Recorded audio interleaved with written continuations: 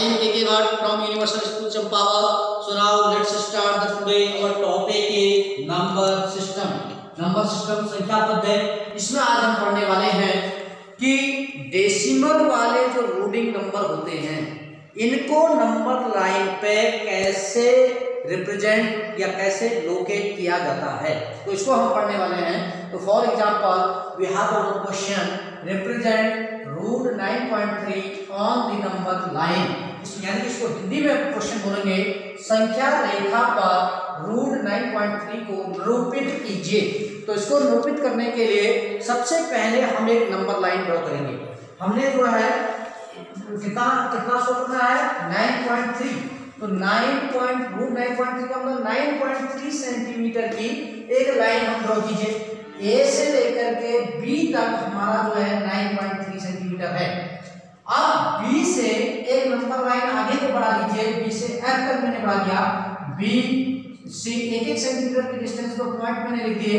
यहाँ से one centimetre C one centimetre distance D और यहाँ से वन सेंटीमीटर ई फिर यहाँ से वन सेंटीमीटर एफ़ अब क्या करते हैं? जितना आपको जो है नंबर लाइन पे शो करना है, आपको कितना शो करना है? 9.3 अब उसमें वन प्लस कर दीजिए। Nine point three plus one ten point three centimetre अब अपनी नंबर लाइन पे, जो आपका टेन पॉइंट थ्री सेंटीमीटर है, यानी कि ए से लेकर के यहाँ नाइन पॉइंट थ्री था वन और हो गया तो यहाँ तक हमारा टेन पॉइंट थ्री हो गया। यानी कि ए सी को हुआ हमारा ten point three centimetre distance हुई।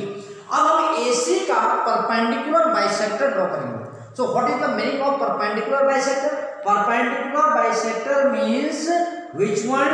Divide our line exact two parts that is known as जो हमारी लाइन को, जो भी नंबर लाइन है, उसको दो बराबर पार्ट्स में बांटता है, उसको बोलते हैं perpendicular bisector perpendicular bisector draw कैसे करेंगे? सबसे पहले आप आधे से अधिक दूरी अपने कंपास में लीजिए। अब ये AC हमारा 10.3 है।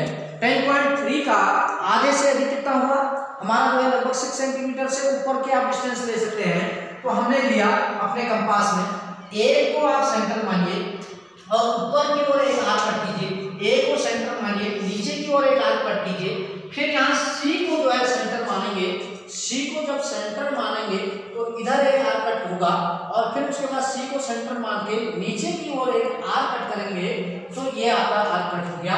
और दोनों इंटरसेक्टिंग पॉइंट्सों को हम क्या कर देंगे? ज्वाइन कर देंगे।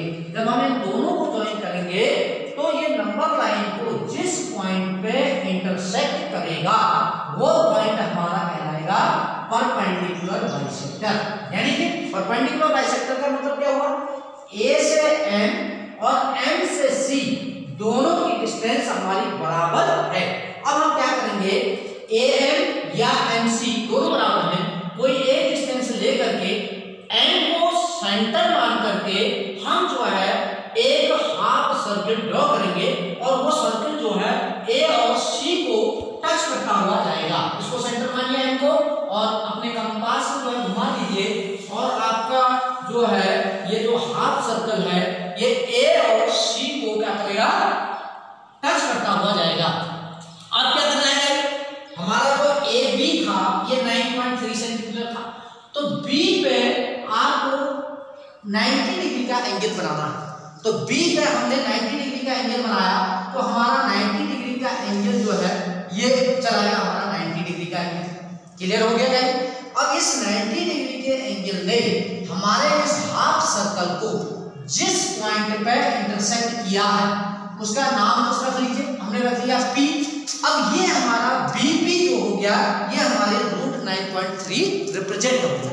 अब क्या करेंगे? बी बी से पी तक की डिस्टेंस अपने कंपास में लेकर के एक जो है आर्क ड्रॉ करेंगे और ये आर्क हमारा जो है नंबर लाइन पे एग्जैक्ट जो है रूट 9.3 की वैल्यू को शो करता है तो रूट 9.3 की वैल्यू कितनी होगी 3.0 समथिंग तो हमारा देखिए इधर ये 3 है? 3 सेंटीमीटर यहाँ पे है, ये आपका 1 है तो 3 ये आपका 1 और इसके बीच में आपका नंबर लाइन आ रही है तो इसका मतलब ये वैल्यू होगी रूट 9.3 सेंटीमीटर समझ में आ जाएगा तो मैं आशा करता हूँ कि आप सभी को जो है मेरी वीडियो पसंद आई होगी तो मेरे चैनल को सब्सक्राइब अवश्य कीजिए। मेरे चैनल का नाम है यूनिवर्सल के के भट्ट सो थैंक यू